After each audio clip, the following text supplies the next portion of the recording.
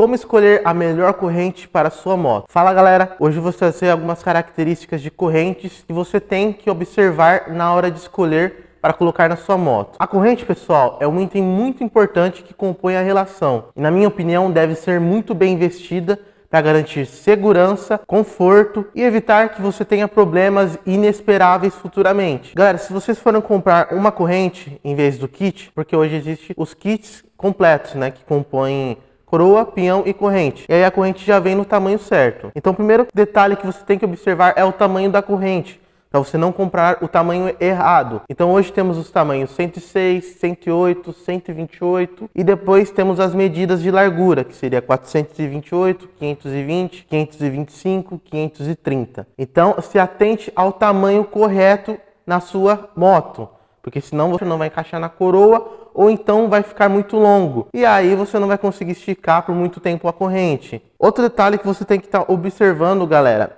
é a cilindrada da moto e se é necessário você colocar uma corrente com retentor. Normalmente, motos até 250 cilindradas não tem necessidade de utilizar corrente com retentor. Porém, a corrente com retentor, se você utilizar numa moto dessas até de 100, até 200 cilindradas, 250, vai durar muito mais. Muita gente fala que corrente com retentor para motos de baixa cilindrada não compensa muito. Galera, quem fala isso é porque não cuida da relação, sinceramente.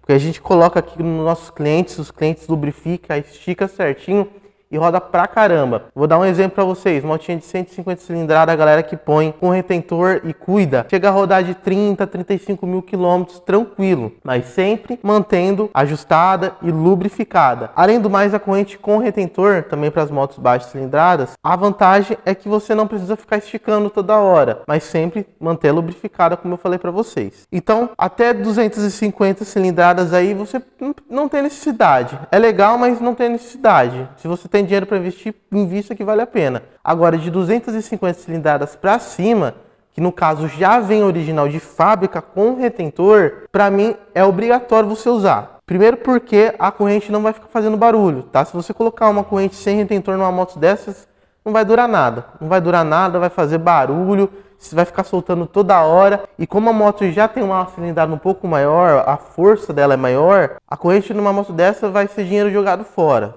tá? Porque vai correr risco de estourar, não vai durar nada, é ruim, galera, é ruim, não use. Na minha opinião, galera, se você tem uma moto de 250 cilindradas para cima, tem que ser com retentor. Agora, se você tem uma moto de mais alta cilindrada ainda, que eu, que eu digo de 500 até 1000 para cima, tem que ser com retentor, porém tem um outro modelo de retentor que você tem que utilizar. Por exemplo, a da Didi, a gente normalmente usa aquele modelo VX3, tá? Porque aí o encaixe do retentor é diferente, a emenda é diferente e tudo mais. Então pesquise, busque e procure sempre utilizar uma corrente de alta qualidade se você tem uma moto de mais alta cilindrada. Outro detalhe, galera, que eu digo para vocês, se vocês vão comprar uma corrente 520 com retentor, compre sem emenda, né? Porque tem existe as correntes com trava, né, que são aquelas presilhinhas que vão na trava da corrente, e tem as que são sem emenda, que é com rebite, que é rebitada a corrente, e aí ela não corre risco de soltar, de quebrar a emenda,